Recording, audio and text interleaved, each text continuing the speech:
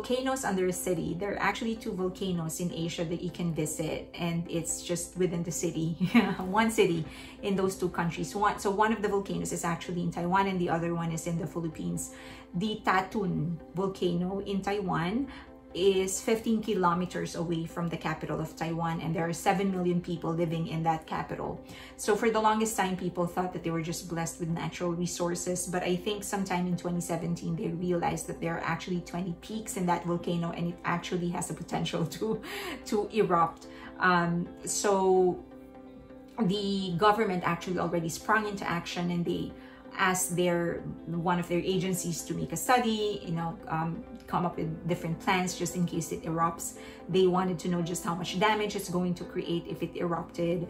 Uh, so far, it hasn't. But as I've said, if you want to visit Taiwan, in the capital, 17 kilometers away from that would be the Tatun volcano. Now, the other one is Taal volcano in the Philippines. So it is located in between Tagaytay City and Batangas City. It is not uh, in the capital. So the capital of the Philippines is Manila. So, so it's a little, it's like, um, I don't know, maybe 20 miles, 30 miles away from Manila.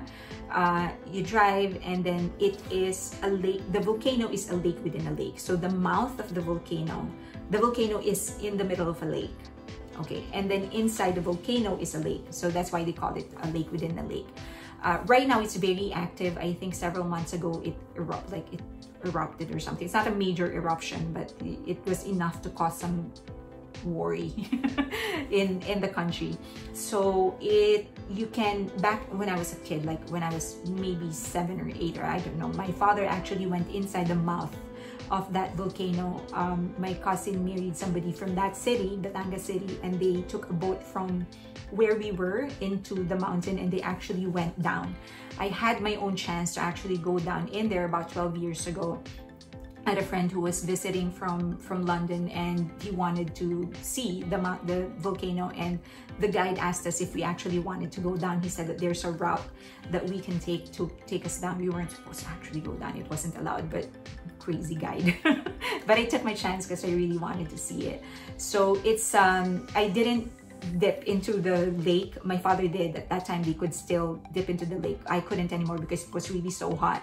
But at least I was able to go down into that, that mountain. But so now you can't anymore because as I've said, it's so active right now. So they're not allowing people to actually go to the, the volcano. Um, so, but you can, from Tagaytay City, there's a lot of restaurants there, great food, great place. And from Batangas as well, certain spots in Batangas, you can actually go and see uh, Taal volcano.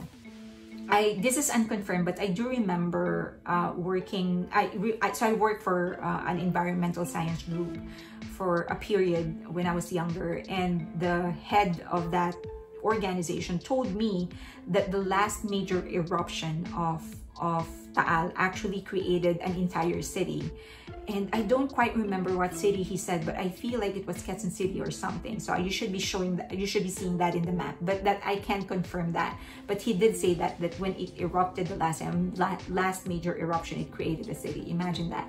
Okay, so as I've said, if you are ever uh, in for an, any kind of adventure and you're going to Asia, do consider only if you want. Um, take it, do it in, in your own risk, at your own risk. But um, Tatun volcano in Taiwan and Taal volcano in the Philippines.